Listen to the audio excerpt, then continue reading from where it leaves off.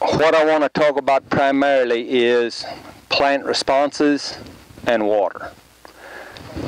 We can't do anything about how much water falls, but we can do a lot about how much water gets in the ground, how long it stays there, and whether it gets evaporated out or runs through a plant first.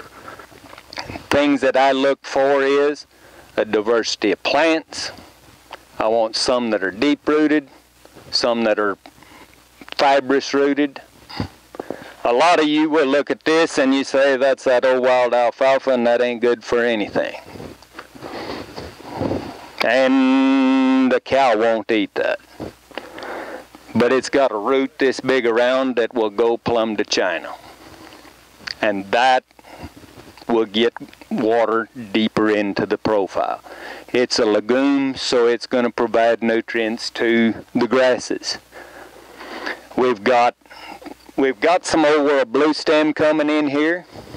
A lot of people will say, oh, a Shetland pony with a saddle on won't eat that. Is that true? It looks like they've been eating it here, right? And it's a bunch grass. It's deeper rooted. It's going to be more productive. It's not going to be as high quality as buffalo grass, but we got plenty of buffalo grass. We can get a little more carrying capacity and we can get more water into the ground with that bunch grass. The other thing that I look for is, is that ground covered? And covered, I mean, I am wanting every square inch of dirt with something on top of it, either a leaf standing or some dead plant material on the ground. The more cover we can get and the longer we can keep it there, the less water we're going to have run off, the less dirt we're going to have carried away, and the better things are going to do. Those deep tap-rooted plants, lots of people think of them as weeds. But they're loosening that ground way down deep. The other thing about those forbs, which is what they really are, when this grass is 6 to 9% crude protein, those forbs are going to be 12 to 18. So it doesn't take a whole lot of those forbs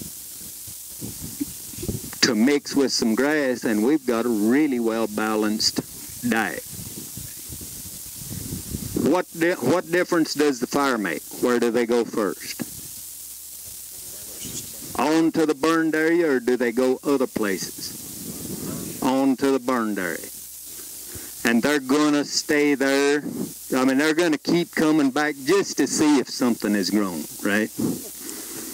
If I've got part of a pasture that burned, and I don't want them concentrating there, then I'm going to have to do something to keep them off of it, at least part of the time. That effect, in my experience, will go for up to two years. And so you've got to be cognizant of that as you start managing after a fire. Make sure you get that cover back before you start doing other things.